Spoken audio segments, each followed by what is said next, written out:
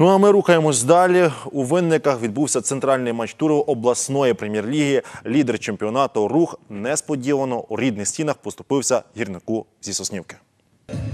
Винниківський рух змінив форму, щоправда, лише для розминки та для загальнокомандного фото. У такий спосіб керівники клубу вирішили висловити свою думку про президента окупанта. Так склалося в нашій країні, що у нас реально йде війна на сьогоднішній день.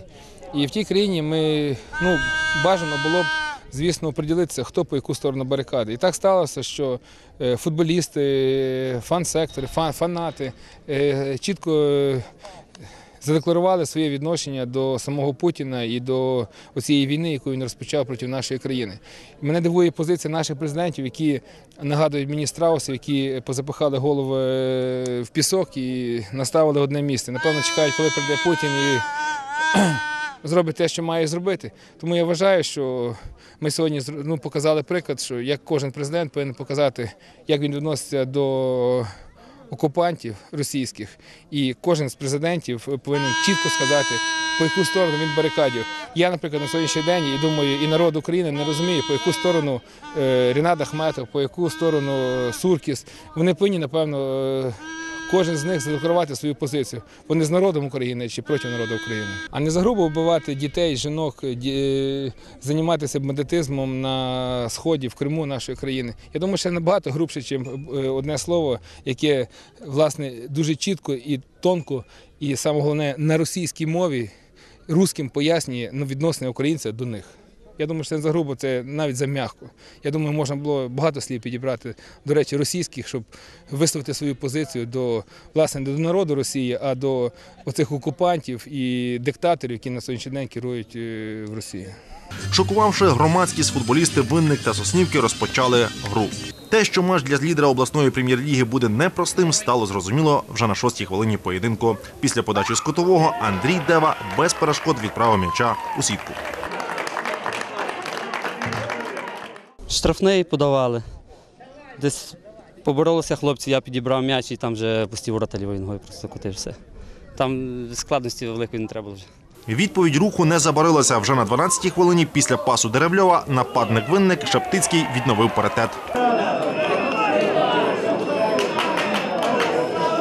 Дотиснути суперника господарям поля вдалося у другому таймі. Можливо, з допомогою Мирона Маркевича, який в перерві зайшов у роздягальню руху. Висновки гравці зробили швидко. На 49-й хвилині після передачі Гусаковського Шептицький в падінні головою оформлює дубль.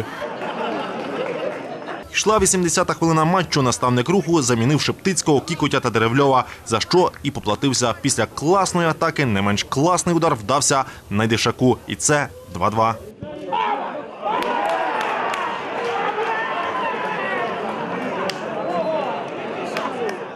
Заміни, які ми зробили, це було ну, зовсім невдало. Це ну, помилка була, звичайно, тому що люди не війшли в гру.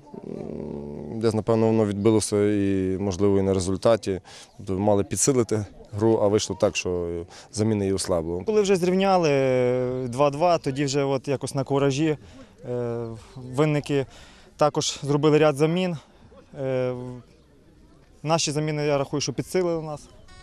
І е, десь третій гол, чек- десь того треба було чекати. Відчувши погане, президент руху Григорій Козловський нервово запалив. Але і це ще був не кінець. На відміну від руху, заміни у гірника спрацювали на всі 100. На 90-й хвилині соснівчани продовжували шокувати футбольну громадськість винник. Цього разу третім і переможним голом у ворота лідера чемпіонату відзначився Данилюк. Соснівка доводить, що вміє та знає, як протидіяти чемпіонам.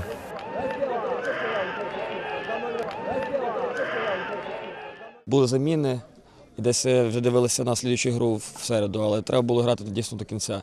Так як е, Соснівка це наш такий якийсь неудобний дуже суперник. Ми в чемпіонаті в них вже третю гру проігруємо, і нам треба було довести цю гру до дійсно до перемоги. Може, ще десь забили. Завдання у нас було дотримуватися дисципліни на полі і витримати паузу до кінця. І ми так і зробили, і свої десь впереді знайшли. Як показав сьогоднішній матч, що прокляття не тільки у Бенфіки, а й у нас теж має місце, тому що я не- знаю, як ми маємо грати з тою командою. Її обігрують куча команд без проблем. Ну, для нас це, це реальне прокляття Львівської області. Я вже підходив до президента і питав, може, в Соснівці хтось нас прокляв. Я, я теж, як і себе, не готовий готові піти на могилу і просити за щось пробачення. Я не знаю, як з ними грати. Ну, це просто реальне прокляття. Як з цим прокляттям боротися? Якщо Бенфіка хоч знає, хто їх прокляв, я не знаю, хто нас прокляв бля, в Соснівці.